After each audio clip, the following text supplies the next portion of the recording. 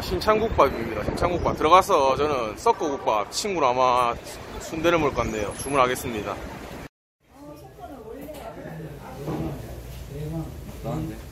어? 썩고가 없다고?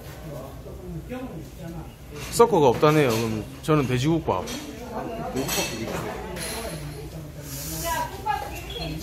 원래 썩고가 없어도 다 주는데 오늘 뭐 안 주는가 보네요. 주문한 국밥이 나왔습니다.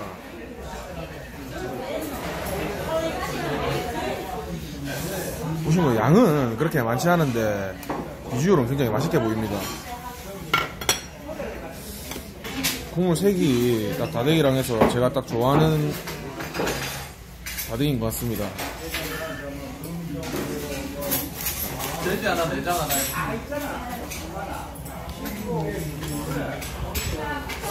국은 뜨거울 때 먹어야 맛있죠. 한번 맛있게 먹어보겠습니다.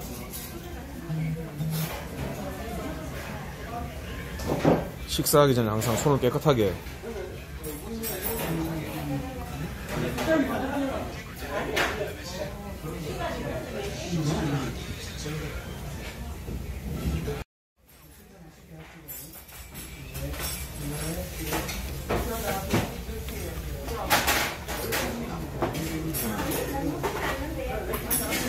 빵이 맛이 어떻습니까? 맛있습니다. 아 맛있습니까? 어제 술 드셨습니까? 어, 술 안 먹어도 그동안 왜 근데 국밥을 안 드셨습니까? 밀면 때문에. 정말 밀면을 좋아하는 사람입니다. 저도 먹어봤는데 약간 탕 같은 느낌? 약간 오리탕처럼 탕 끓인 느낌, 약재 넣고 탕 끓인 느낌. 근데 약간 생각보다 가는 도랍니다.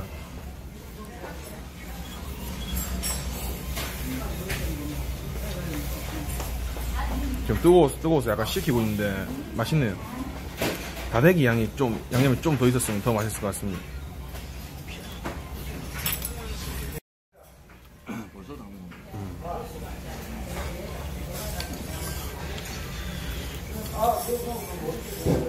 친구가 지금 맛있게 먹고 있습니다. 저는 이미 다 비었습니다. 신창국밥이 아마 프랜차이즈로 알고 있는데 다른 곳에서 한번 먹은 기억이 나는 것 같습니다. 국물이 빨간 거, 빡빡한 그 빨간 국물이 아니고 탕 같은 느낌? 오리탕 같이 맑은 느낌의 다대기 약간 들어있습니다.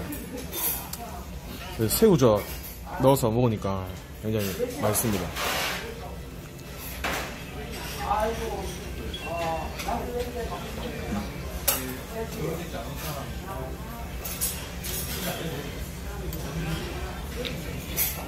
자, 다 먹고 나왔습니다. 뭐 전체적인 맛은 괜찮습니다.